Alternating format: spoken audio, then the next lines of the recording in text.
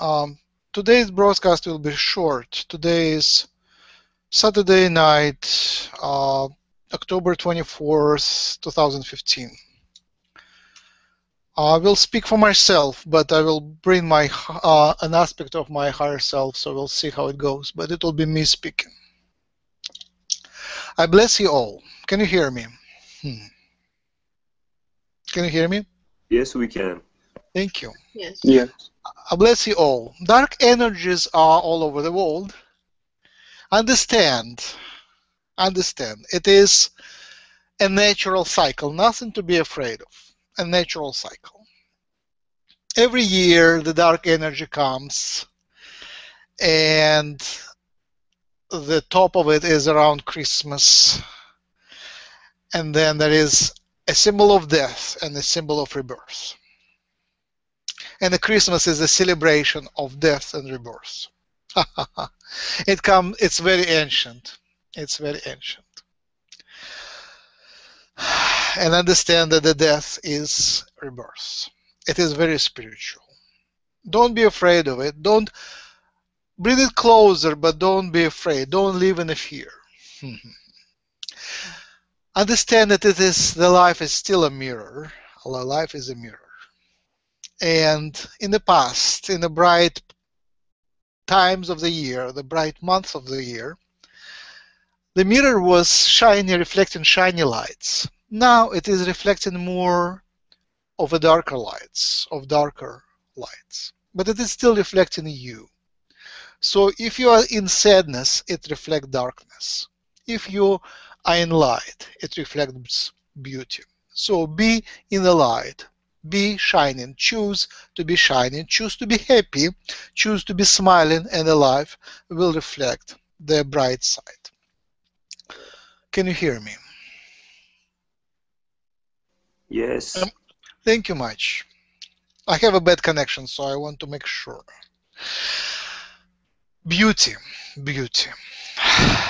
In this darkness, the beauty shines most. In this darkness, look for the beauty. Beauty will save you. Beauty will give you strength.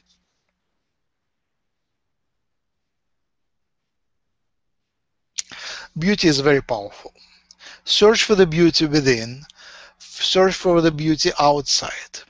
In anything, in any problem, look for the beauty. It will give you the power to transform it from the darkness to the light.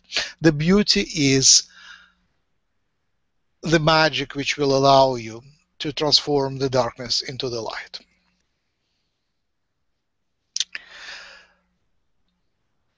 And in the darkness, the idea of God, the idea of God becomes more pronounced.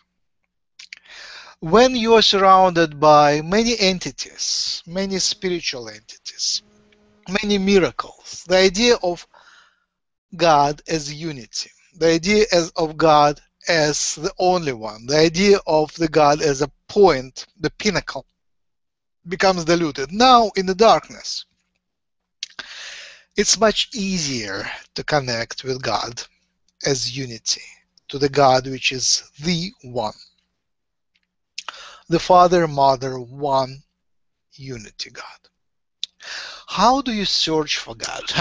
there is millions of ways, infinity of ways.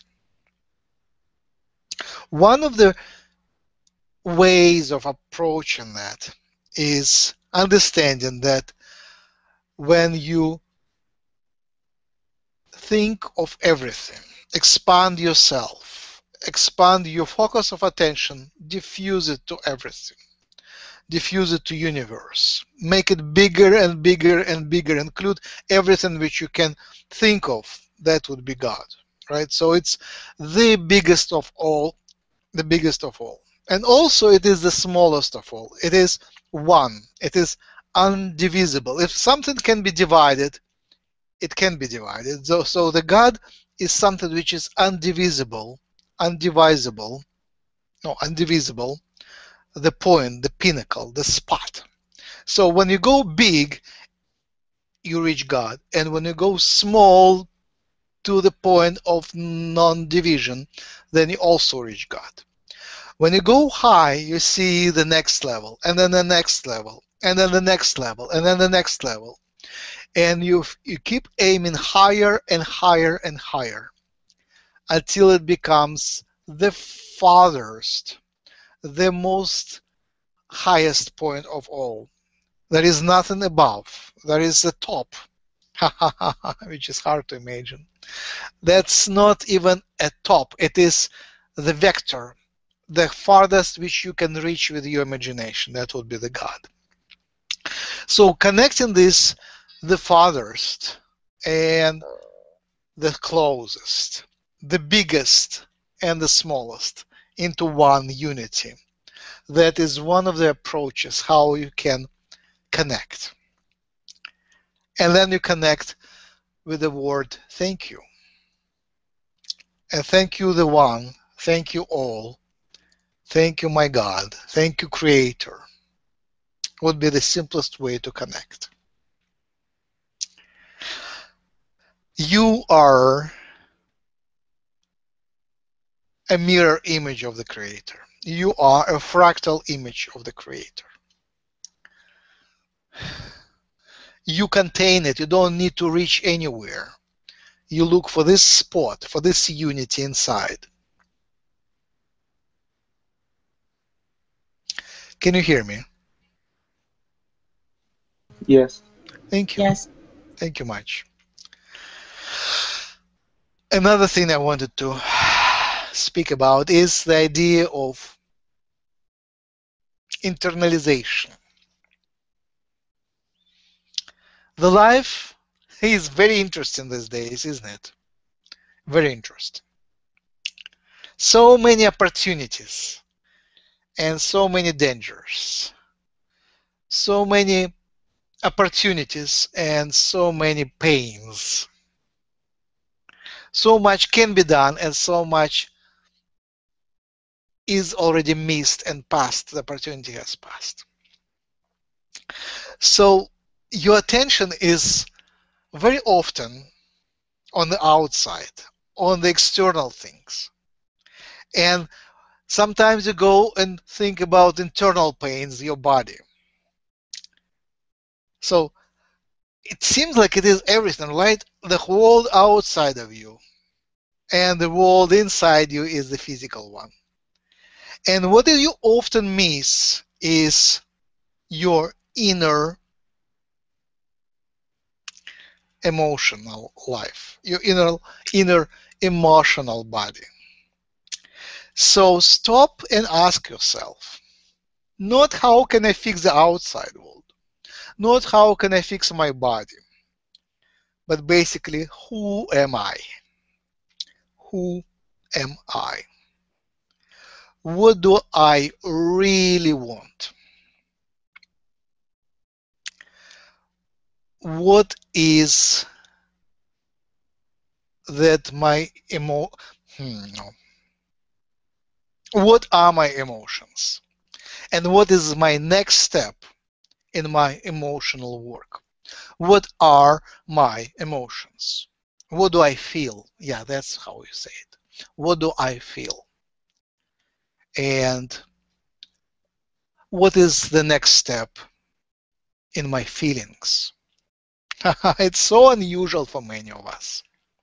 So unusual. So look inside and listen to your feelings.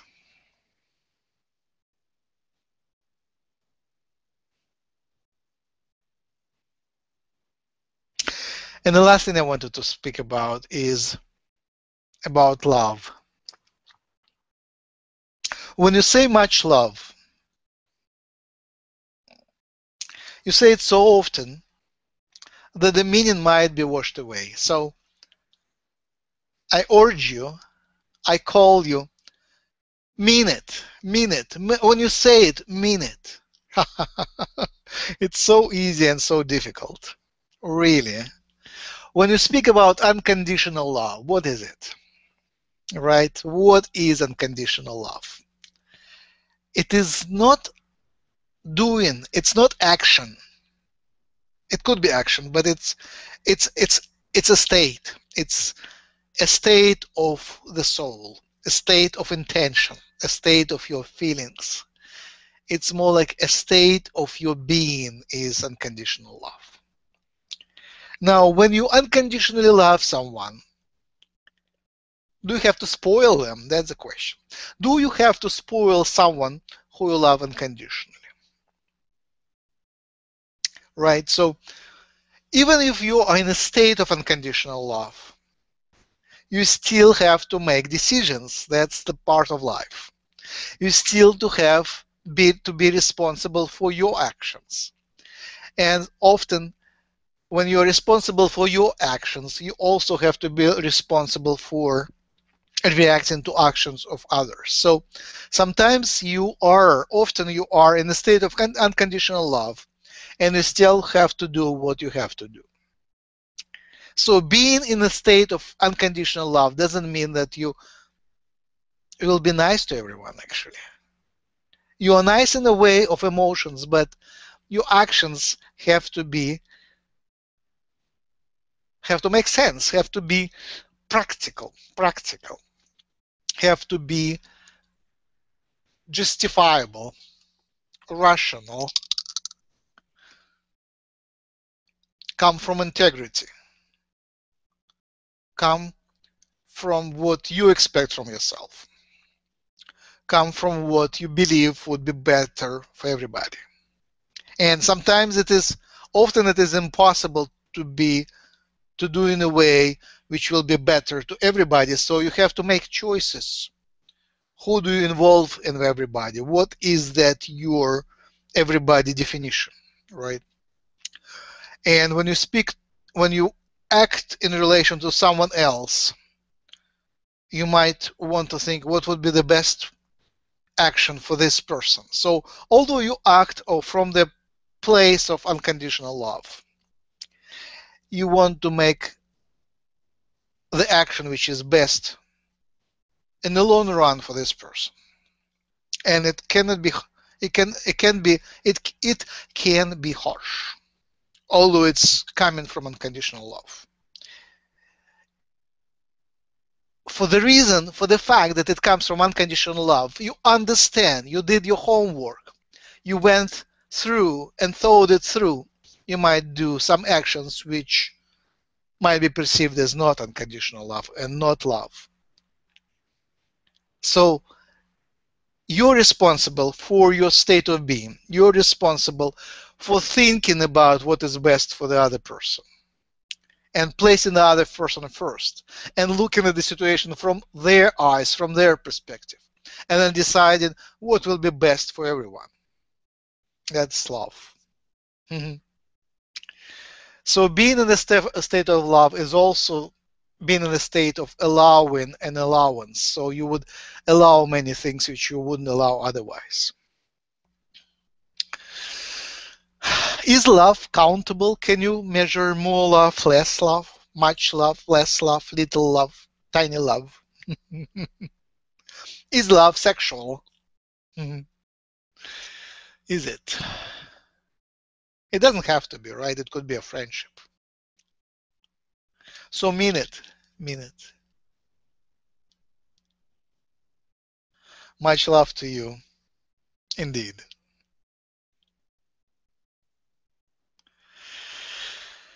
Invite discussion. Do you have anything to speak about? Any topics?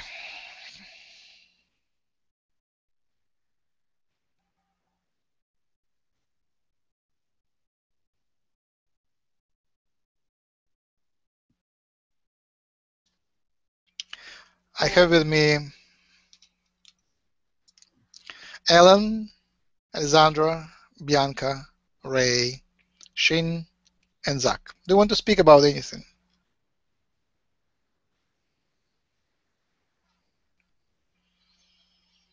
Uh, can you hear me? How are you today? Hi. Hi. Any problems, topics, ideas, beauty. Let's speak about beauty.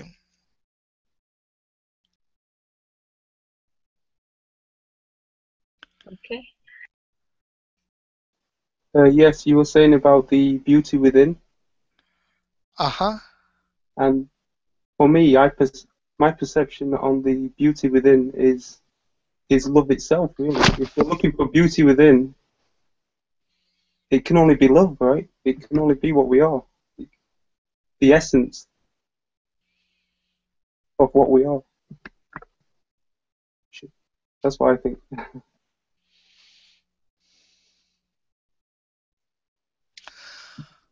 Yes. Uh, when I think about beauty, I think about being, about strong strength in the uh, life. For me, life is beautiful. Harmony is beautiful. Coherence, which is agreement with itself.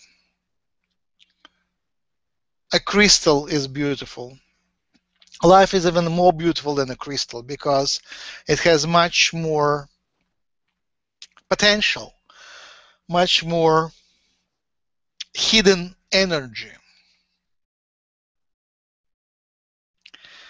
much promise. Yeah, the beauty is the promise beyond the promise beyond any rational, right? The beauty is the promise beyond any rational. That's what is the beauty for me.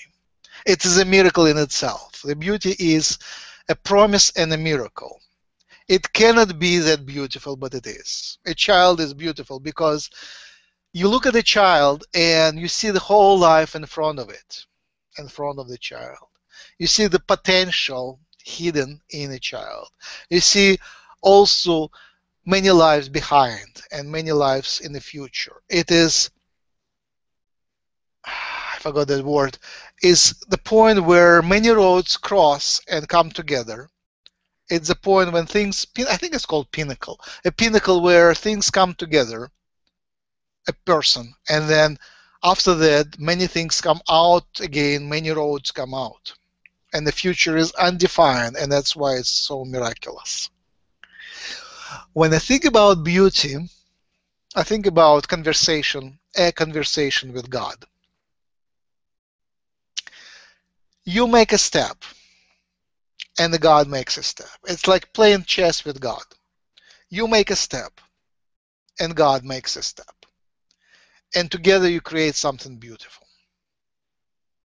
That is the poetry. In the poetry, you can see the individuality of the poet. It is clearly the expression of personal choice. It is the signature of the author and also you see the God speaking there. You see the words of God intertwined with the poetry, intertwined with the words of human. Same thing in the Bible. It is a word of human intertwined with the word of God. That's why it's beautiful. And same thing in the life. You make a step, your spirit guides make a step. God makes step, a step. Angels make a step, and you make a step again. So you play table tennis with angels. That's how I see it. The life can be beautiful. And it can be not beautiful when you get out of harmony. So find yourself, find yourself, find your purest note, purest tune, and play it. And at every moment it can be different listen to yourself. Listen, what do I really want? What is my next step? What is my bigger, biggest challenge today? And move in that direction. Any more comments, any more ideas, any more topics?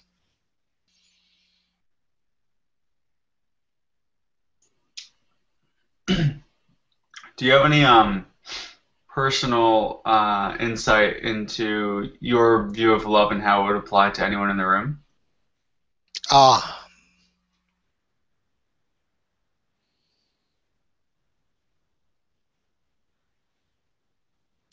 Any more specifics? Um, is is there someone in the room that you know could use your insight on your take of love uh, that could use direct message? All right. I don't have a good connection with the room yet. But I have a topic which is on my mind and I want to bring it up. It is the idea of friendship. It is the yes, it is the idea of friendship. When you see someone beautiful, when you see someone someone spiritual, you might fall in a trap wanting to have sex with them. And think about it. Think maybe it is good, maybe it is good for everybody, maybe it is intended, or maybe it is just a cultural misperception. Maybe sometimes it is not a good idea to to wish sex with somebody beautiful and somebody spiritual, somebody enlightening. Maybe you just want to be friends. That's a very simple idea. Being friends with uh, spiritual people is a great way of developing relationship, and sex might be even spoiling that idea attraction is good, but how much do you go want to go in that direction? now, with romance, it is my understanding of sex is desire to have children. I know it's it's it's old-fashioned and it's not popular, but I see true love as a desire to have children. So you search for your perfect mate, for your soul mate, as someone who you wish to bring the children up with. With, with, that person, you want to bring the children up. And you look for a best combination of your genes and that person's genes, and best combination of your culture and this person's culture and when the life is more advanced, like mm, me 15 years ago, my outlook at the love changed. I don't know. I, maybe you're most of you are young, so maybe you're not at that stage. So that would be later. But basically, you look at your mate as someone you want to live their life to their old age and you look at this woman and think would it be would she be good a great old lady to live with when she's 70 would it would, would it be fun to live with her would she be a good wife and friend of course i understand there is love beyond sex love beyond children and love beyond sexual love beyond the idea of time. That's all good. Uh, there is so many expressions. Some of that is common between us and animals. Some of that goes into biology. And we can talk at length about this. And again, is it that we evolved from the animals and we carry something from the animals which is in us or it is the other way around uh, maybe it is another way around maybe we are now we are in the now we are in the present and we create in the, the world around us and animal around us as reflections so maybe our animals are here to reflect to us different aspects of love. The, the cats reflect the idea of independence and freedom. The dogs reflect the idea of unconditional love.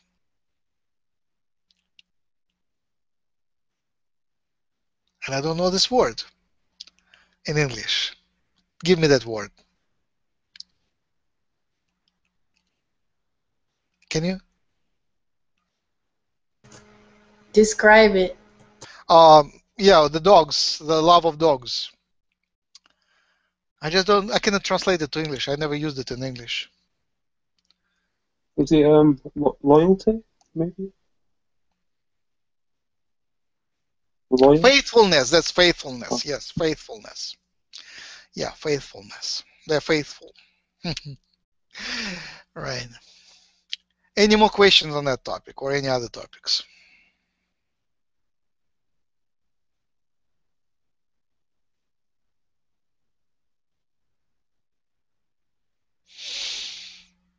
The romance in young age is interesting. There is so much cultural prohibitions and there is so much development, especially in the Western world, which changes things.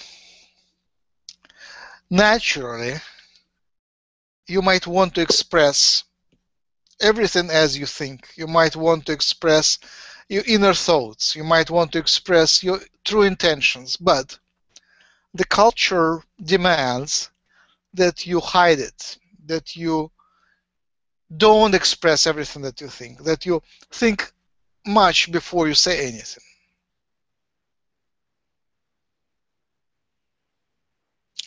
I'm thinking that we are moving from this pretense, this uh, delusion, this, um, how do you call it, deception, to more true expression that we are moving towards trust and expressing your true intentions more directly. Of course, with uh, with respect and positive attitude. I don't rush you to do that, but consider being more straightforward and see what how it will play out. Don't experiment, just think about it and experiment in your mind and see how it will play out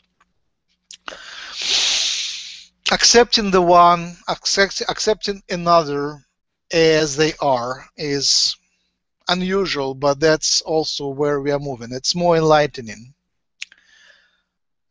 Allowing the other person to be what they are, and even if they don't are not that spiritual, you know, respecting their choice, and uh, looking for ways to make your ideas to them interesting is also can can come out of respect. It's not from deception, but out of respect for their choices. Offering you're you're always entitled to offer your service, offer your ideas. But if they are not taken, don't be offended. Just say whatever, thank you anyway, and offer again. You're always entitled to offer. And another thing in love and relationships is especially, you know, the early ones, the early ones, but at any age, the early stage of the of, of the relationship is meeting yourself. When you talk about yourself, when you introduce yourself, when you fall in love, that early stage when you learn about each other everything, and when you are interested about everything about that other person, and that other person is accepting everything that you tell them about yourself. You tell for the first time, or for the first time, or whatever, you tell what you really think is important about yourself. You tell your life story. And as you tell it, you create yourself. You discover yourself. That is wonderful. That is one of the most uniting processes, uniting communications, uniting events, falling in love and introducing yourself, discovering yourself, uniting with another person, integrating with another person is beautiful. And as you discover yourself, you create something new, which is unity of you two.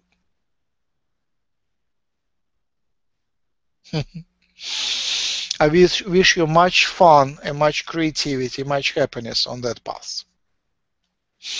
Anything else you want to discuss? yes, this unity with somebody you love. It's um some interesting ideas float around my mind when it comes to ideas around you know, spiritual work and, and ascension and things like that. Because as soon as you close your eyes, that other person is in a way with you. Let it be. Where'd you go? Welcome back. yeah, like, but really, it's yourself. I mean, yeah, I've just been playing around with these ideas because there is someone with me which I love very much. And, well, I can't take her into my dreams often. I, maybe at one stage I will be able to. Things like that.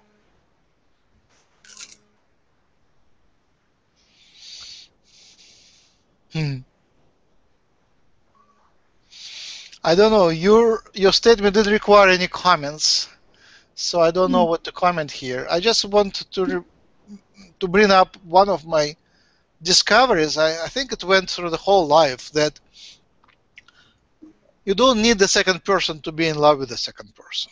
That second person can be away thinking about whatever and you still can be in love and you have conversation with that person and you have all the complexity of relationships without even sending any letters without even saying any words which is which is not surprising right? When you think about spiritual part of that it is absolutely natural. You don't really have to be physically communicating when you communicate mm, mentally spiritually. You have the whole experience of relationships of a relationship without actually physically communicating to that person. And sometimes it end, ends up wonderfully and sometimes it ends up with uh, pain and separation Hmm, That's natural.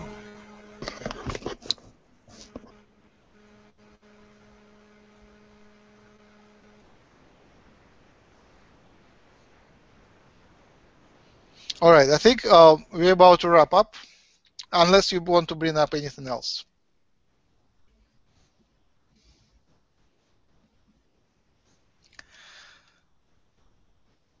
Do any, does anybody want to pronounce any blessings?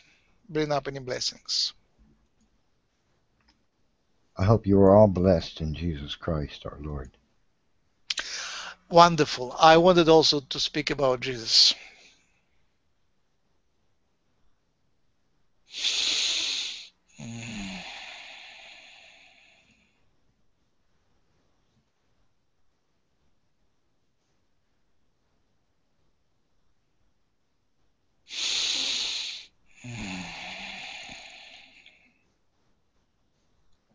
There is but one way to God, and his name is Jesus Christ.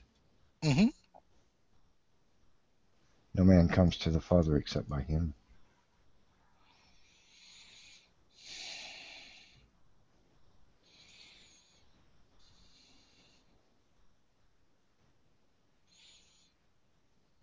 All right, there is many perspectives on that. I want just to, to give a one idea which crossed my mind recently.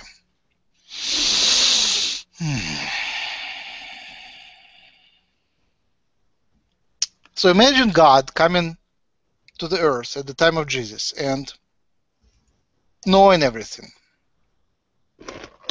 All right? And humanity was barbaric at that time. Barbaric. There was human sacrifice and lots of other things. And there was lots of poor people, lots of inequality. It's not like modern world. It was, you know, some people were enlightened, but many people were in the dark. And then he, has a choice, basically, what to do. And he can see the future. How can he see the future from that point, right? He is there with his disciples and playing in his mind different scenarios and can see what will happen after that. And obviously, from that point on, there was so many timelines because we still have a choice. So the humanity, the humans, through these ages could make different choices. So he could see all different timelines and then he created that situation which we know, right? The um, I don't know how how to name it. Their crucifixion situation.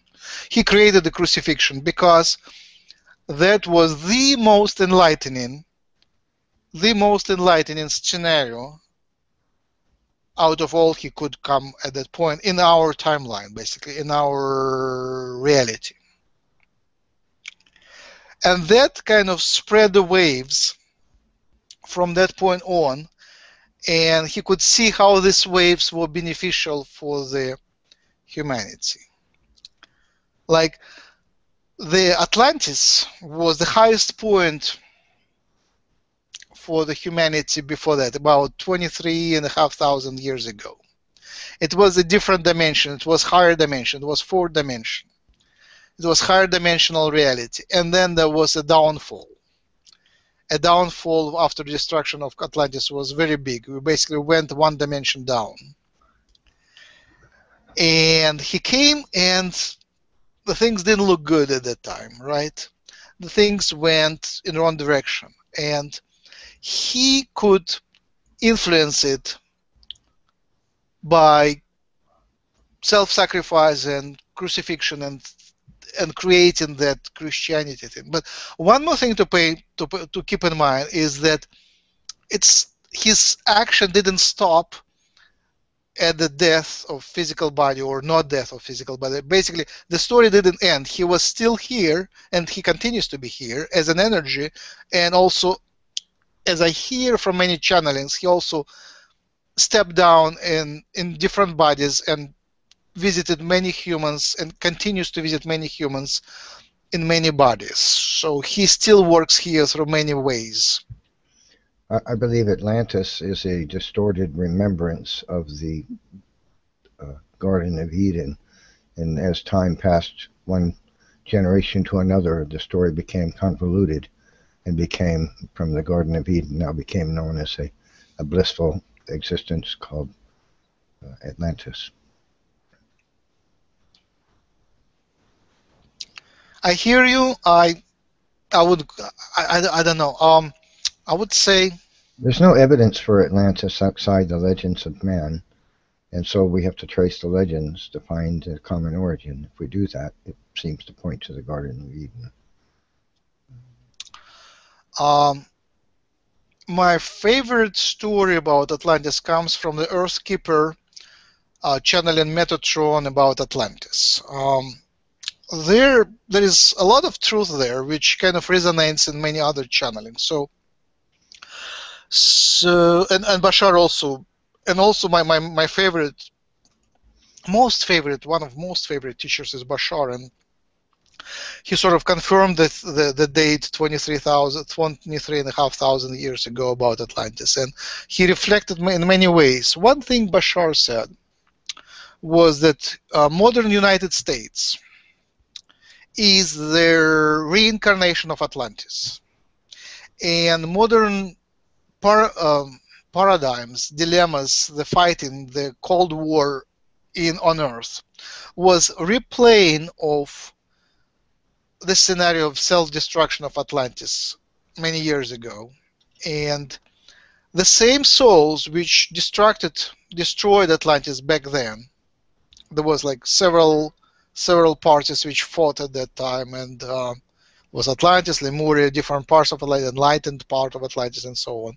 They reincarnated back all together and um, and uh, replayed it, and we continue to replay it but now we replay it in a way when we just don't destroy the civilization and we come out healing the, the past trauma. So that is the Bashar story. For the Garden of Eden, um, there are stories which come from Lyran channelings and channelings about Lyran. So my understanding that it was beyond Earth. It was more like possibly in Lyran civilization. So that story comes from before Earth, before Uh, it was, you know, the story that Lyrans were the first humans that came to our galaxy when the insects and reptilians were dominant, and that destruction of Eden might have related to these wars and some sort of that kind of interactions even before the Earth was populated. But again, I don't want to, to argue, and also maybe there were multiple reflections. So maybe at some point the reflection of Garden of Eden, the reflection of Atlantis were united in some way. So I'm not saying you're not correct because you know it's really there are many stories and some of them don't resonate to each other. So there are many interpretations. I wouldn't say that I'm correct in many uh, or you're incorrect or other way around. I respect your um, uh, insight. Uh, allow me to provide some information that Sure, uh, sure, sure. that um, uh, that gives us reason to believe that the biblical account of the history of the world and mankind Mhm. is actually the correct one. The Bible tells us that uh, Noah, after the flood, had three sons: Shem, Japheth, and Ham. And now, if that were true, we should find historical evidence of, of this. This should be profound. When in fact we do. Uh, Shem was the father of the people uh, that came after him from his loins. And in ancient historians, even those who quote other ancient historians whose texts are now destroyed but were alive and well in their day, they quote earlier historians who say that there was a tribe of people on the earth once known as the Shemites. And Mhm. these became known as the Semites or Semitic peoples of the world. Today we call them Jews and Persians. Mhm. Um, now, if, if Ham existed, we should find uh, evidence of Ham in the ancient history of the world. And we do. Uh, the, the Hamitic people of Egypt, the Bible says that Ham migrated to Egypt. And it just so happens that the Hamitic people were the earliest tribe known in all of Egypt, uh, one of the two earliest tribes known. And they deified him. It's called ancestor worship. And they gave him the name Hamet, which is one of the oldest known gods of Egypt. Plutarch, the historian, said that the land of Egypt was known to the Egyptians first as the country of Ham. So here we have uh, verification that the biblical account where it says that Ham migrated to Egypt, eh, he fathered a, an entire tribe of people in the very culture of Egypt itself. This is very early in the history of man. Now, son, Noah had a third son. His name was Japheth. Now, we should find evidence of, of the same thing for Japheth if that's true. And in fact, we do. We find multiple accounts of Japheth's name in the earliest nations, uh, tribes of man in the world. For example, he was uh, distorted, his name was distorted and remembered by the Greeks uh, as uh, uh, uh, Prajapati by the Hindus, I mean, Eupetos by the Greeks, Jupiter or Eupator by the Romans. And so we find Japheth, uh, we find his name as early remembrance in some of the most prominent early tribes of mankind. Right there, we have uh, we have the Roman, we have the Greek, we have the Hindu, as well. So we have fathers of en- entire tribes of people named after men in the tower in the table of nations given in the Bible, which is tells us the origin of the various tribes of mankind on the earth after the flood. And the biblical account is actually supported. And here's something that's truly remarkable.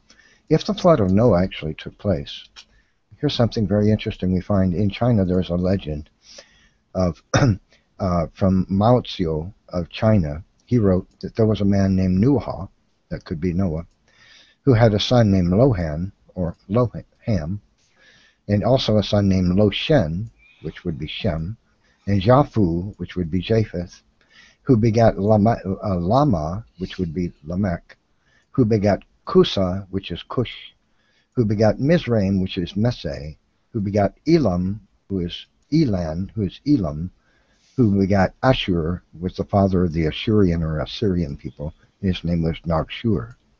So here, recorded by the Chinese in the very early history of the Chinese people, is the remembrance of Noah, his three sons, and there having been a global flood. We find this kind of account in all of the major ancient tribes of the whole world. Now, this, this points to something very profound. The flood was a real event. Noah was a real man who had three sons who fathered all of mankind just a few thousand years ago. Be blessed in Jesus Christ. Well, thank you. I think it was very Thank you. Thank you for interesting. Yes. time. I hope you'll Uh, consider the evidence I provided. I could provide, if you allowed me, I could provide hours of it. But I, I, I- will take my leave, and I hope you have a blessed evening. Oh, thank you. Mm, very, very nice. Um, yeah, let's let's wrap on that. Um, do you want to give any more blessings?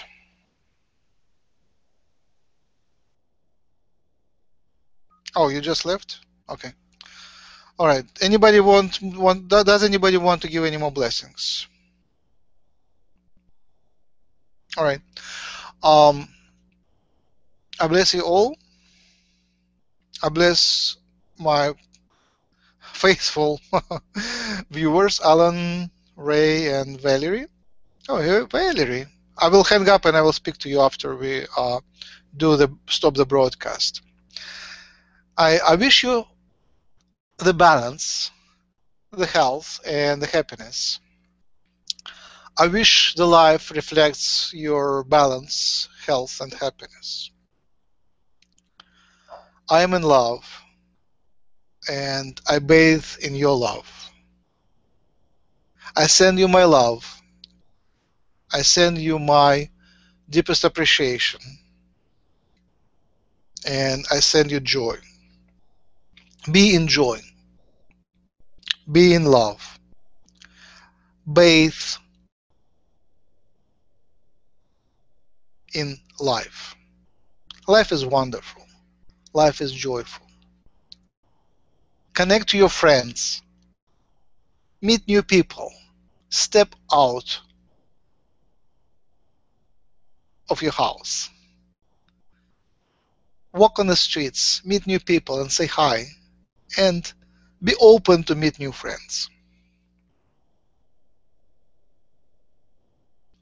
We are coming to great, unity. We are walking to the new future where humanity will be much more united. People will be much more friendly. Let's start it now. Let's hold hands. Let's connect to our friends, to their friends. Let's connect all together, create a more united network. Be a light worker, carry light. Choose light. Choose happiness. Choose smiling. And carry it to the world, united with others. Everyone has a sparkle of God. Everyone has a sparkle of love. Everyone has a sparkle of beauty. Grow it in yourself. Grow it in, in your friends. Unite with them. Unite through this sparkle of beauty. Amen.